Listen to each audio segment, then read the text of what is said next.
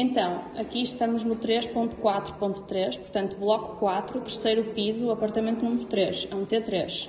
Entramos e à direita começa o hall uh, dos corredores dos quartos. Por isso temos o primeiro quarto, com duche, acesso, arrumação e acesso à varanda principal do apartamento.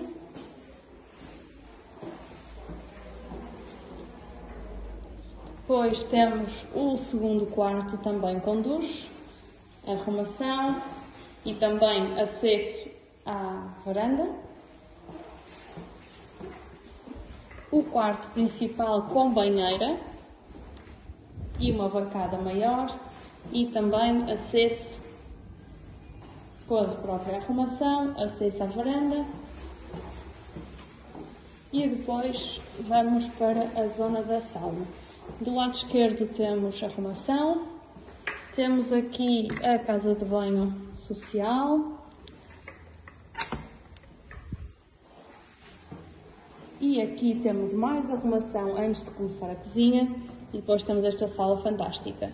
Aqui temos a cozinha, completamente equipada, que também dá acesso ao terraço. Este terraço acompanha o apartamento todo e temos uma excelente lavandaria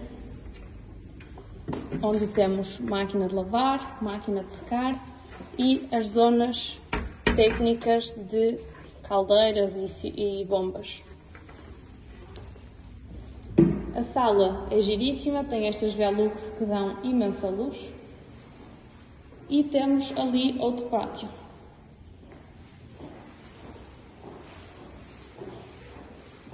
Este pátio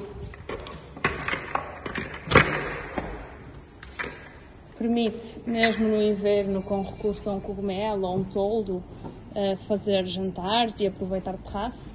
E tem esta dinâmica para, para a sala. E este apartamento tem uma luz brutal.